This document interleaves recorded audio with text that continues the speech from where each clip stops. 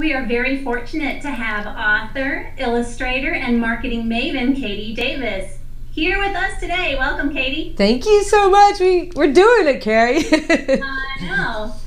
Uh, before we get started, I just want to tell you a little bit about how I came across this awesome person. She was first referred to me through the 2013 12 by 12 picture book experience, which is a challenge and an awesome community where writers share awesome resources.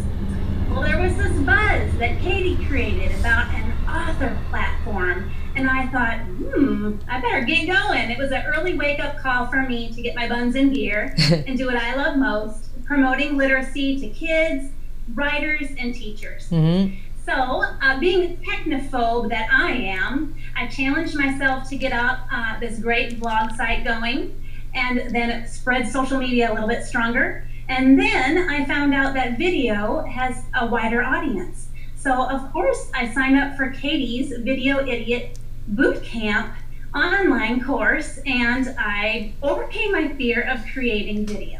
And you did too. Am I better off because of it? Totally. You betcha. Yeah. You betcha. And could I still learn more? Absolutely and always. So I've always got these questions swimming through my mind. You're not the only one. I mean, I just talked to a friend of mine who's a social media master, and she said she went to a social media summit and that she listened to these people who are YouTube experts and video experts. I said, "Oh, tell me everything. Tell me everything." She said, "That is so great that you want to keep learning." I said, "Are you kidding? If you find an expert or a guru or anything like that who says they know everything, run in the other direction and never listen to them because."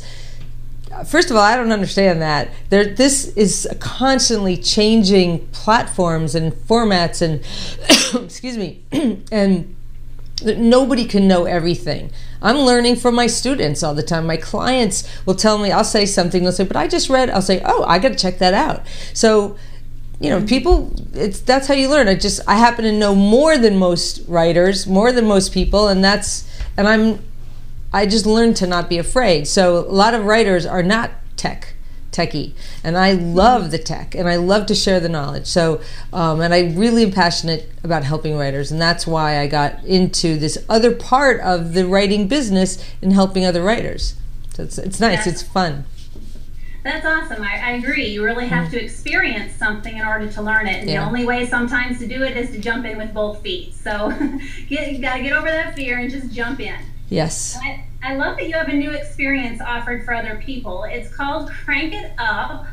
And I'd love for it, I'd love to hear more about it. Those questions that are swimming through my mind, I know they could be addressed through Crank It Up. Yes. Could you tell us more? Yeah, yeah, yeah. It was it was a really amazing thing that happened, and I I decided to start a website called courses uh, coursesforwriters.com, and in order to get people to come and check out the site, I put a free course on it called 100 Things Every Writer Must Do to Succeed Online. I have to look and see what it's called because I mess up the title all the time.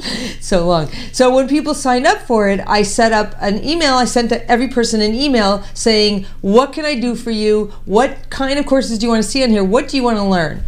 I could not believe the response I got. I got dozens and dozens, hundreds of emails back saying, I need to learn this. I have these questions. I have these questions. And what was really interesting is that they weren't hundreds of different emails. They all came under four main categories and one kind of along the that kind of connected them.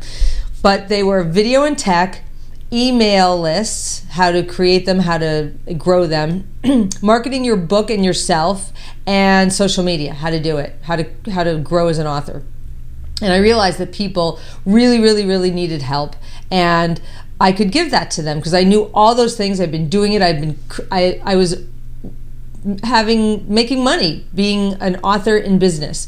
And I was doing a lot of those things I had learned on my own. And I knew how much easier it would be if somebody had just taken me by the hand and shown me all those things, I could have oh, I could have saved years of agony. So I figured I would create a group coaching uh, session based on those questions and i crafted it made basically like a remember in college like a 101 class where you get the basics and you learn everything and that's what i did taking each subject by the hand, giving tons of backup material and handouts and stuff like that. And that's what I did for four four weeks. And the cool thing, which I was stunned by and hadn't planned on, is that when it was done, 27, I figured this out, and I'm not a math genius, 27.27% of the students that, or the writers that signed on for the first Crank It Up session signed up for a kind of uh, 201 session. Oh, okay. The second, like an implementers, so where we it's much more one on one and more personalized and customized. And I actually go through each person's website. We see how to um, optimize it and make it better and set up things for them. Everything they learned in the first session, they they go up a, a level and learn even better. And we go really dig in. Um, to people in you know individualize much more so it's really it's very gratifying we, and we have a lot of fun we really it's just it's so much fun so Great. Yeah. So do you kind of let the students lead the way with their questions then, or do you kind of? I know you said you have four main categories that really uh, earned a response through Mm-hmm. that initial email and everything. Do you go with that as your guide and then take the students' questions and let that lead the way too, or? well the first one well the first one was created with by the questions. All the questions that i got in the hundreds of questions were that's how i created it and that's how i formed it. The second the second session is definitely led by each person's need and where they want to go and what they need specifically and individually. So Right. that is yes absolutely yeah Okay. Well, it seems like the biggest gem of Crank It Up is that you're overcoming that self doubt and the myths that are arming participants. Mm-hmm. yeah So, what I mean, sometimes those myths can kind of make them more fearful, I guess. So you're breaking down those walls, and Mm-hmm. is that is that the biggest thing that you feel it, it's addressing? You know, I didn't think that that would be it, but it. I think it's it's kind of starting to rise to the surface that that is because people are constantly commenting like, "I can't believe I'm doing this. I never thought I could do this." They're in every session. I mean, before the first week was up, I was getting testimonials, and that by the second week, I had like five people saying, "Oh my gosh, this is amazing!" It's on the website. It's on it's on katiedavis.com/slash crank it up. You can see the people are like testifying. It was so gratifying. I was like, oh my gosh, I'm making such a difference. It was so, you know, when, when you help somebody and you feel so good about that, it's really quite astounding. It really feels Yeah. good, yeah. So that, yes, I, to answer your question, I really do think it's, um, I do think that that is amazing because you know when you it's it's the whole give a give a guy a, a fish thing you know give a give a person the keys to their website and um, they learn how to eat for a lifetime well, I can't believe it's such a gar- it's such an awesome deal. Um, the, they're getting such personalized Yeah. feedback for less than twenty five dollars an hour. Yeah. I mean, yeah be- I considering think that's unheard of. Yeah, it is unheard of. Uh, Considering I charge over three hundred dollars an hour usually, um, and I and I get it. You know, I have clients, so this is it. What I I was thinking was I would get a lot of people at once, and I could help a lot of people at once, and that would be a great thing. So that if they wanted to continue with me, wonderful, and if they wanted to go on their own, that's also good. But I wanted to be able to help a lot of people one time because a lot of writers don't make a good income, and I wanted to I wanted to show them that they can by doing these things. You don't know how many people I say you have to have an email list. Please just get I've you know banging my head on the wall trying to get people to have an email list. They're like, yeah, but I don't want to bother people. That's not it. And if I can just get on my soapbox for one minute, whether you listen to me or listen to someone else, you you have to have an email list. In fact, that's the next thing I'm going to create. I'm going to create a a, a, a course on how to create an, e- an email list because everybody keeps asking me, um, and it's the most important thing you can do as a writer in business because you are a business, and I, have been saying this for years. You are a business. If you're a writer, you are like a small business person. You're you're like your own little store, you know. And not everything in the store, not all your chores. Like if you're sweeping up the aisles in the store, that might not be your favorite chore, but you still have to do it. Maybe you like talking to the customers who come into the store more, which is your writing, right? Or your illustrating. But you still have to sweep those floors. Otherwise, the customers um, aren't going to be able to open the door to come in because there's going to be too much dirt on the floor, right? I don't, how long can I go on with this analogy? but but it, you have to do it, and doing the marketing part is part of our job. Uh, whether you're independently published or traditionally published, you've got to do it. So having your email list is really important. And I was just saying this morning to some friends who have a gigantic writer's blog, they don't have an email list, and I said they're like, we don't need to because we're never going to sell anything on our blog. I said, just you don't need to sell anything to need an email list. What if your what if your site crashes and you can't get it back up? You have no way to reach all those fans. And what if you're the next week or the next year or whatever, you have a book coming out? How are you going to reach all those people?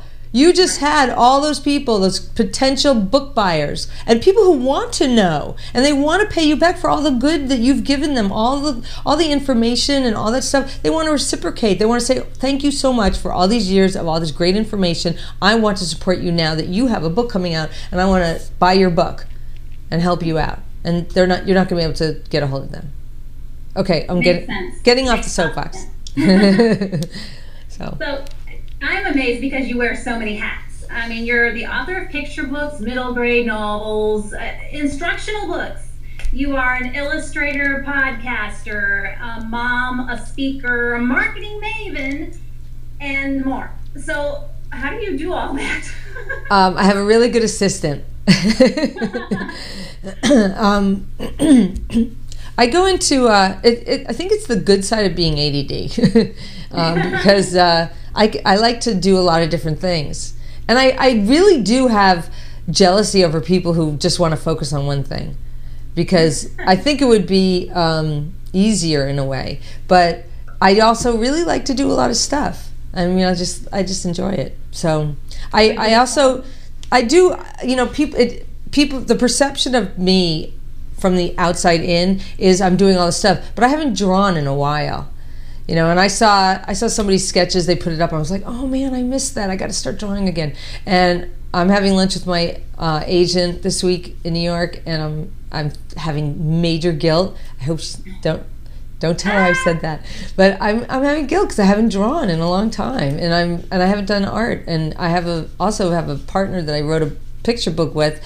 Don't tell her either because I was supposed to be doing the drawings. So, you know, it's um. It, I, you can't do everything. It's impossible to do everything. But I and I'm well. I know you're. I know your next question, so I won't bring it up. I won't. Um, well, I kind of thought of another one. oh, go ahead. So, do you have balance tips, or is it just like you utilize some help from some other people, and it really helps you make it all work? Yeah. No, I there I do have balance tips. Don't kill yourself if you don't get it all done. Number one, nobody can do it all. Yeah, you know I can't do it all. I can't. I, I said to you before we started, I can't chew gum and walk at the same time. And they have they have done studies that show that if you try to multitask, you will do nothing well. Do one thing. I do concentrate. I hyper focus on one thing and power it out, and then I will hyper focus on the next thing and power it out. Um, Wow. But it so it seems like I'm doing a lot because I'm I'm hyper focusing, but Mm. and I'm good at that. And that is also an ADD quality where you just get you drill down and you just hyper focus on one thing. But Yeah. um, but I also love what I do, so I can do that. And it sometimes is to the detriment of some other things. But um, and I have clients, and so then I, I can't concentrate on other things. I concentrate on them. So um, and they take priority. My clients Right. will always, you know, if they're if they're employing me, you know, they're paying me money, they're going to take priority. So Right. um, that's very important to um, to to put in my my front view viewfinder whatever my in front of my face i don't Yeah. i never really forget you know i don't forget about them i have to in fact make sure that i take some time off um, i had a friend on friday i was texting her about some business stuff and it was friday night and she she lives in california and it was like seven or eight o'clock at night and she said uh, isn't it friday night there and I said, okay, hint taken, I'm stopping now. And my husband was like, I now love your friend. Because he's he can't get me to stop. Yeah, I understand. I'm a workaholic. So. Yeah. But also I'm trying to make college dues, you know? I got two kids Yeah. in college. That stuff is expensive. Well, one of the good things, I guess, is you can offer this to other people who are feeling really bogged down because you've got something new that you're offering to other people that either can't overcome their fear of making Right. videos or they just don't have the time to Mhm. make videos. And so you are now offering something else called Yes, I am. Videos for writers. Yay! And guess what? What I'm doing? I'm making videos for writers. It's videosforwriters.com. And I couldn't believe I got that URL. Videos for writers, really? It's available. Um, yeah, I got videosforwriters.com, and I am making basically, and it seems like a really complicated thing to describe to people. But remember Mad Libs? yes, Right. I love them. Right. Okay, so you get the template. You don't write your own story, right? You get a template and you have to fill in the blanks. Well, this is like Mad Libs, but with videos. So I'm starting out with book trailers, and I just did one for Fancy Nancy.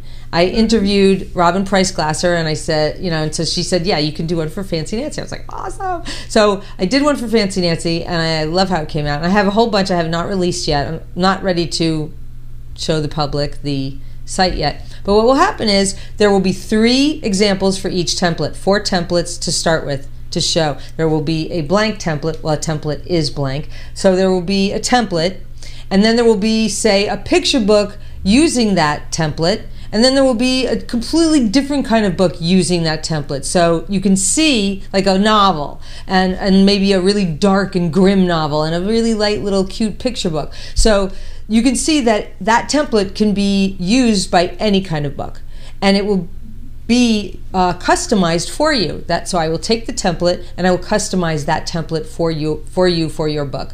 And then there's another template, and so, so one is called the Raving Reviewer, and the next one's called the Teachable Tips, and the next one's called I forget, but there's four of them, and um, and so um, it's it's going to be really cool, and I'm making it very affordable, and uh, you know I've seen I've seen I think the lowest price I've seen for uh, somebody making book trailers for people is something like three hundred dollars, and I'm going to be doing it for less, but they are templates, so Yeah. they are not like I had somebody hire me to try it out. Like she wanted to hire me, and I said no, but you can be the first um, person to use the site. Uh, but you have to realize it's a template, and it just kept it. I don't. I think it's hard for people to understand that it's a template. That means there aren't. You can't change the template. You, you fill out a form, and then I fill in the blanks. So Right. you know you can't in like in Mad Libs you can't change the stuff that was already there, and Right. so that's it's it's going to be interesting to see what happens and there will be uh, like the first people who sign up i may give them a deal or i may give them a deal on the next one or something like that so if they want to sign up for the priority list um, there will be something in the beginning to uh, to, to, to reward them for being an early ad- adopter. I don't know what yet, but they can sign up for the list, and it's it's at videosforwriters.com. And Great. yeah, so I got to figure out. I got to figure out what I'm going to thank them with. But um, yeah, and I'm also going to have add-ons. Like people can. I mean, my my videos on um, YouTube are in the top 2.69 percent for views which I didn't even know. See, that's another thing I don't know. I didn't know that. Somebody, one of my guests on my podcast told me that. So I was like, really? So he said, yeah.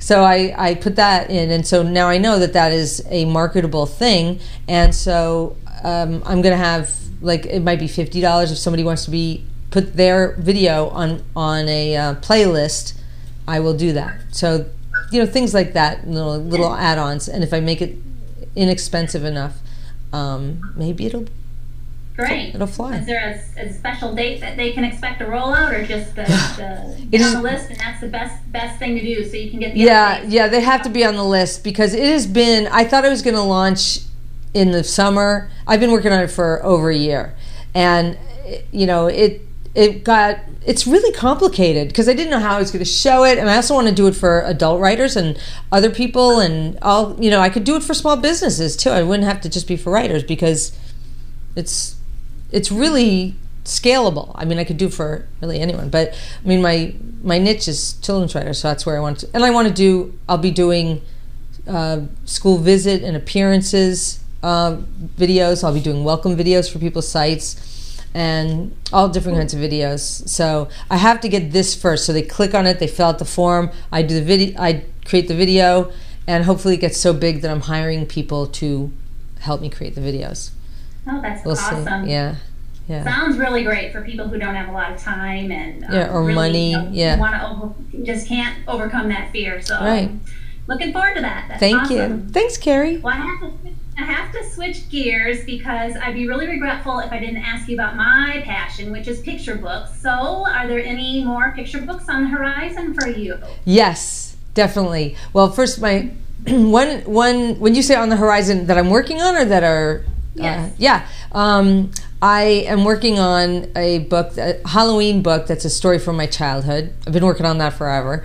Um, and I'm also working on the one I told you that is with a friend of mine. We wrote together. It's very cute and funny. And in fact, we wrote it, it came to us on in when we were on Julie Hedlund's uh, Re- Writers Renaissance retreat in Florence, Italy.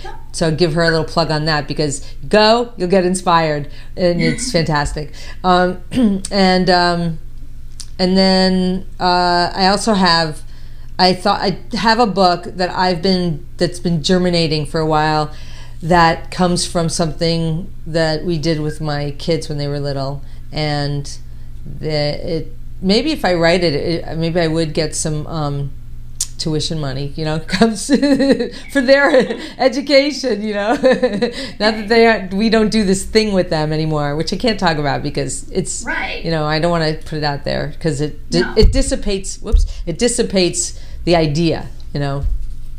Okay. But it's a really fun Well, idea. Awesome. Um, how did you break into the picture book market? Can you tell us a little bit about that story? Oh yeah. Well, it's really funny because ever since I was 16, I was writing and illustrating little stories, and um, the first one I did, I did for this little girl, and I didn't even know it was a picture book. It was basically a, a dummy, and uh, I was just always messing around with that, and it never occurred to me that I could do it as a job.